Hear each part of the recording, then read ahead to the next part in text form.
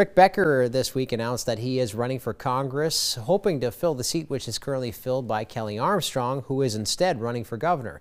KX News' Adrian Oglesby talked more with Becker about his upcoming campaign. Dr. Rick Becker, originally from Mandan, has lived in North Dakota his entire life. Now, as things shake up in the world of state politics, he is hoping to represent our state on the federal platform. Why Congress?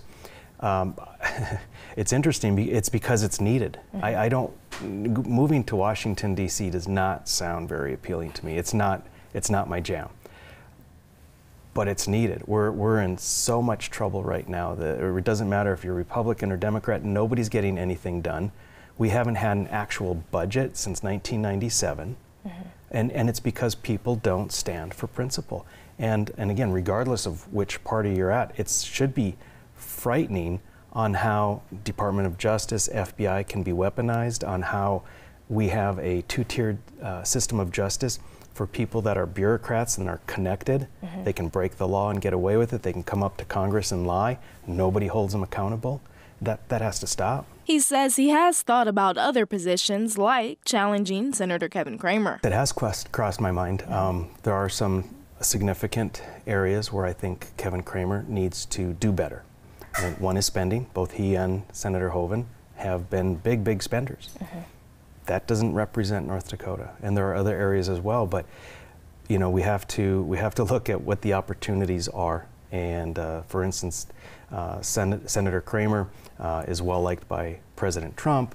Um, he's got a huge war chest. There's this and that. So we can look and say, well, this person's voting record isn't what we want. Should we run against them? And maybe the answer is yes, maybe not. But here we have a, a seat that is now open. Mm-hmm. It's an opportunity uh, to have something that's a much more likely, much more sure thing. So let's go there, and at least we, we can't do anything if we're not in the game. Okay. So let's get in the game. Dr. Becker shared as far as the 2024 presidential election goes, he is standing with Donald Trump. And when he is in D.C. with Trump, some of his main focuses will be one that's very easy to, to sort of wrap your head around is the southern border. Mm-hmm. We do have to get control of the southern border. There, regardless of how we feel about some other things, we can't deny that we have a huge problem with fentanyl, fentanyl mm-hmm. deaths, and that's because it's coming across the border. We have a huge problem with human trafficking. Uh, with predation on children. He adds that government spending needs to stop and changes need to be made to keep our doors open consistently. For your election headquarters, I'm Adrian Oglesby. KX News asked Becker instead why not run for governor once again. He said the offer was tempting because he loves being in North Dakota, but he says if elected, he believes that Kelly Armstrong would do a fine job.